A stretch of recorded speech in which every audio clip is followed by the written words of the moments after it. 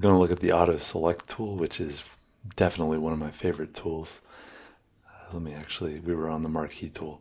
And let's clear this. Let's create a new canvas actually. So close, do not save, and file new. Okay, so get a new canvas and let's put down some black ink with pen. And let's uh, let's just close the lines up so that we have an inside and an outside for this. And yeah, that's fine for now. Let's just do that and let's select our this uh, auto select, which looks like a magic wand, and click on that. And we have several options that we need to uh, think about here. I guess we can just do, to start off, we're just going to use the refer edited layer, which is only going to consider this black line. So what this tool does essentially is when I click on something, it's going to select all the color of that color until I get to the line, like a, a line of a certain darkness or difference from my the line that I'm working with. Let me just show you what I mean. So if I click right here,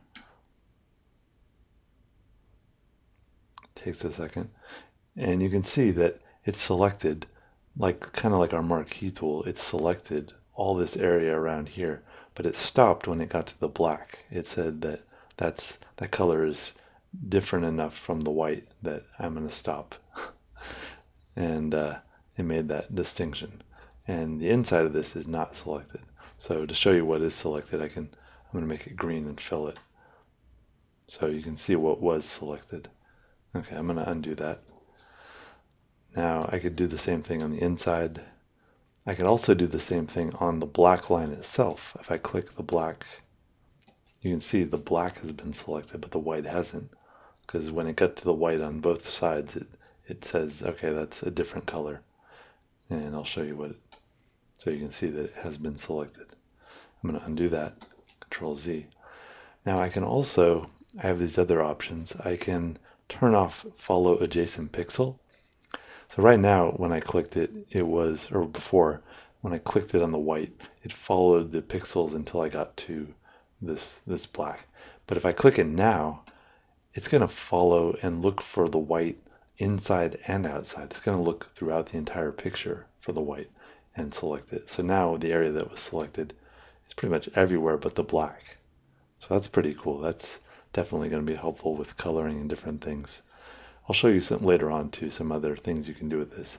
I actually use this for coloring and I know not some colorists would probably be horrified that I do that or whatever, but I think it's a great way to color, and I'll show you how I do that. Okay, clear this and or Control Z and go back. So now that was following the uh, not following the adjacent pixel.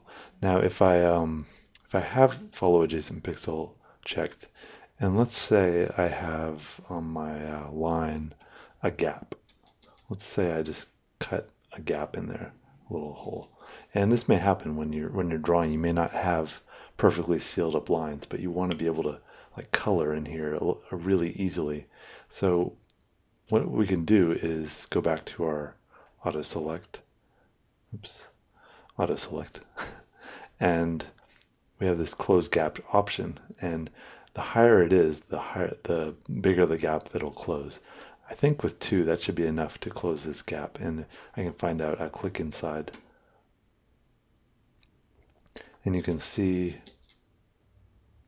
oh wow, it's still not sealing it. It may be because I'm working on a different size page from what I normally do. And it may be like really uh, not have much, uh, it may not allow much, much of a gap. Let me try this with a slightly smaller gap. See what happens. Usually it seals it fine. It's still not sealing it. I'm not sure what's going on actually. Well, you know what? I usually have it on refer other layers, so I think that's the problem. Yeah, exactly. So for some reason it needs to look at all the layers. I'm not clear why that is, but yeah, so the one that I use in the most anyways is the one that looks at all the other layers. So if it's not closing the gap, that may be the reason.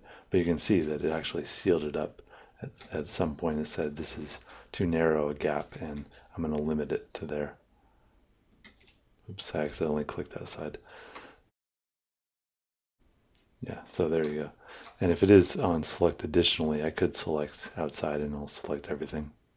Yeah, so basically when it is refer other layers to select, it looks at every layer in your drawing.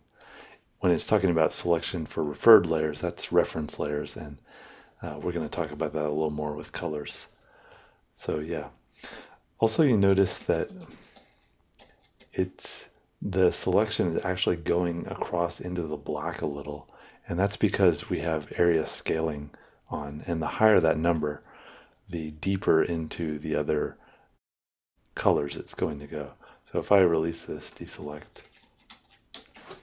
and I select in here again, now that it's at 20, it's going to go a lot deeper. Yeah, you can see that's pretty deep. And I use this with coloring. Like I, I usually add a layer and then I'll just color behind my inks. And that's one option for coloring, but you don't have to do it that way. So in addition to that, we also have color margin, which is going to be basically what colors we include. Like the higher this color margin, the more it's more colors it's going to accept. So if I have, for example, some red, oops, I am on the wrong layer. If I have some red, some green, some yellow, some dark, darker color. Okay, so if I I have this uh, color margin and I'm actually going to turn off follow adjacent pixel. So it's just going to look in the entire picture.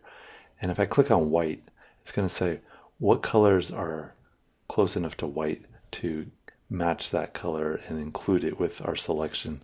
So I have the color margin really high, so it's going to probably get all these colors, maybe not the black, but most of the other colors.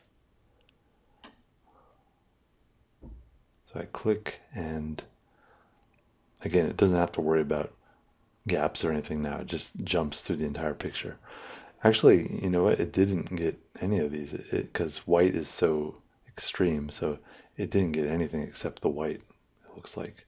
And it crossed over, you know, into the margin a little because the scaling is on to 20. But if it wasn't, it wouldn't include those at all.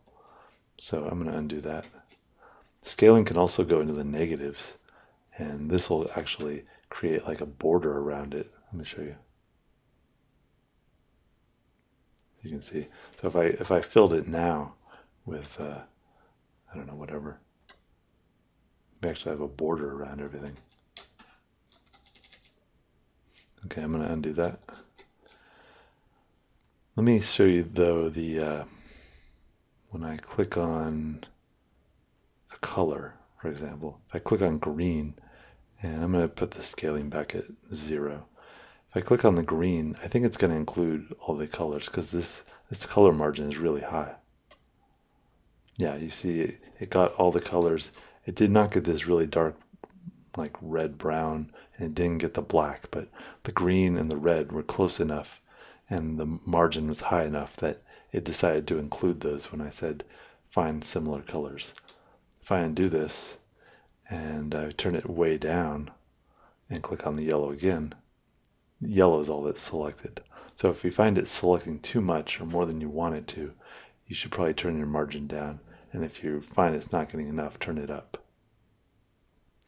I adore this tool and I, I use it all the time and uh, I think you'll like it too once you start playing around with it. You can select into colors and around colors in, in amazing ways. So play with it and see what you can come up with. But I'll, I'll talk a little bit more about it when we look at coloring.